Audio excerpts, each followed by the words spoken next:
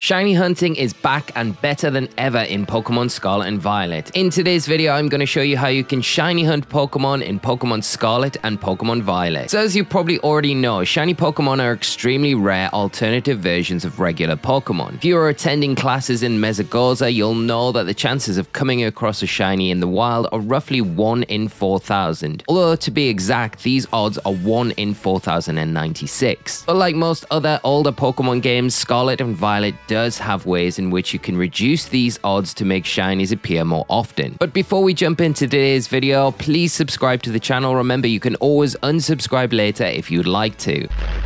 The first things to note in Pokemon Scarlet and Violet are the Pokemon that are shiny locked. This means no matter what you do, these exact encounters will never be shiny. So like the starter Pokemon at the beginning of the game, don't soft reset trying to get a shiny of these, wasting your time on impossible odds. The box legendary Pokemon Koraidon and Miraidon are also shiny locked when you encounter them for the first time. All gift Pokemon you receive in your playthrough from random NPCs will be shiny locked. The legendary Pokemon in the post game are shiny locked, and all Gimmighoul chests are also shiny locked. It is worth noting that the starter Pokemon can be bred once you have access to this facility in game, so you can try and get a shiny starter this way. Shiny Pokemon like regular Pokemon now appear in the overworld as they do in Pokemon Legends Arceus. So in one way it's easier to identify them, but one major thing to know is unlike Pokemon Legends Arceus or other titles that give you a notification of sorts that a shiny Pokemon is spawned, in Pokemon Scarlet and Violet this doesn't happen, and the only way to notice your shiny Pokemon is actually by seeing it with your own two eyes. Basically from what we know right now, the main shiny hunting methods can be boiled down to this. Wild encounters when you're exploring the region do have the chance to be shiny. If you are racing through the areas on your ride on Pokemon, make sure you're being vigilant as Pokemon will be spawning into these new areas all of the time. You can despawn Pokemon in an area by walking out of that area and then returning to it where the Pokemon or another one will respawn, giving you another chance of a shiny to appear. You can also use the picnic facility, which renders new spawns when you return to the overworld, which sometimes can be a quicker method. The odds of a shiny appearing in the overworld are 1 in 4096, but this can be boosted with the shiny charm to 1 in 365 and even further with a sandwich boost called Sparkling Power, which you can stack on top of the Shiny Charm to give you reduced rates of 1 in 683. But we'll get into the Sparkling Power and how to obtain this in the next method. Next up is Mass Outbreaks. Unlike mass outbreaks that appeared in Pokemon Legends Arceus, the ones you will encounter in Pokemon Scarlet and Violet will produce a lot more Pokemon.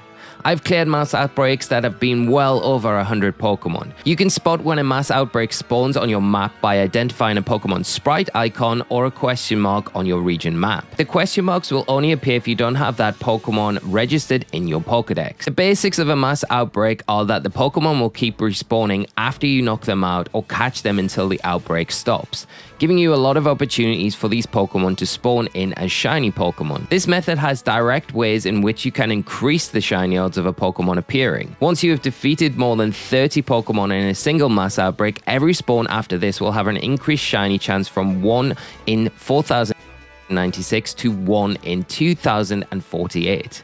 If you clear 60 Pokemon, this chance then increases again to 1 in 1365. During mass outbreaks, you can use the auto battle feature to knock out Pokemon a lot quicker, so getting to that 60 number isn't going to be too much of an issue. Just make sure you're keeping track of the amount of Pokemon you're knocking out with this feature. This can be done quite easy by the notifications popping up on your screen every time a Pokemon is knocked out. And once you've knocked out 60 Pokemon and got those increased odds of 1 in 1365, you no longer need to knock any more Pokemon out. You have the maximum odds for a shiny spawning in a mass outbreak. So you can adopt this strategy of leaving the area, despawning the Pokemon in this mass outbreak, and then returning to it again. This will render new spawns in this area, giving you that higher rate of a shiny spawning in each time you return to the area. And you can continually leave and return the area to get new spawn Pokemon in at these higher odds until hopefully a shiny does appear. You can also adopt this strategy of using the picnic area, setting this up and then leaving it for these mass outbreak shinies to spawn in again,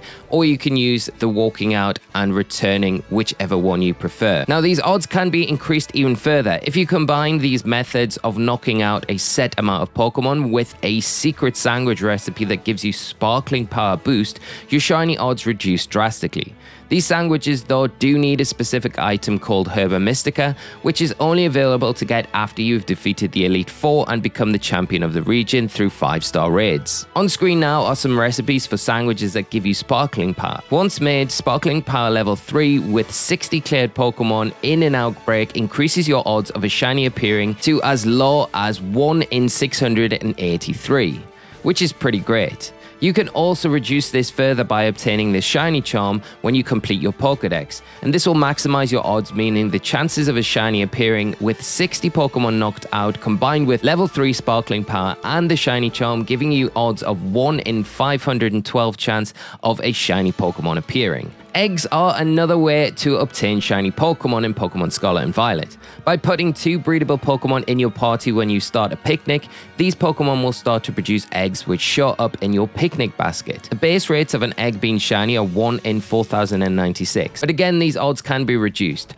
The Masuda method has returned in these games, so if you have a foreign Pokemon traded into your game and use this to breed with one of your own Pokemon, the odds of these Pokemon producing a shiny become 1 in 600 683. This is definitely a method that a lot of you, even at your early stages of your playthrough, will be able to take advantage of. You can also increase the rate in which eggs are produced by once again making another sandwich. One common sandwich that is used by a number of people is the peanut butter and banana sandwich, which will give you a level 2 egg power boost, meaning eggs will appear more often, although not necessarily boosting their shiny chances, the amount of eggs you will receive will increase. Unfortunately, sparkling power does not affect the chances of an egg being shiny, so the only things you can reduce these odds are the shiny charm and the Masuda method, which can be stacked together to give you an increased rate of 1 in 512 chance of producing a shiny egg. Next, we come to Tera Raids, and although right now we don't have any concrete ways to shiny hunt these Pokemon more effectively, they can be shiny. These raids aren't affected by sparkling power used by sandwiches or the shiny charm that you get from completing your Pokedex, so the rates of shiny Pokemon appearing in Tera Raids are always going to be 1 in 4096. The only way to shiny hunt the Tera Raids is really by doing a lot of them and hoping you get lucky. But as soon as we do have a better method to reduce the odds and have a way to shiny hunt Tera Raids, we will cover them here on the channel.